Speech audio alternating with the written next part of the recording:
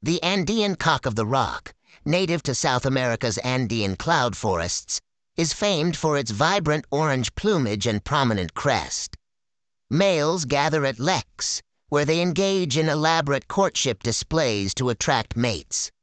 This species is territorial and often found in montane regions.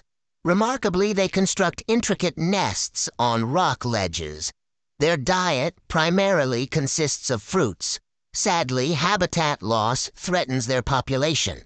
Conservation efforts aim to safeguard these unique birds, recognizing their vital role in maintaining biodiversity within the delicate ecosystems of the Andes.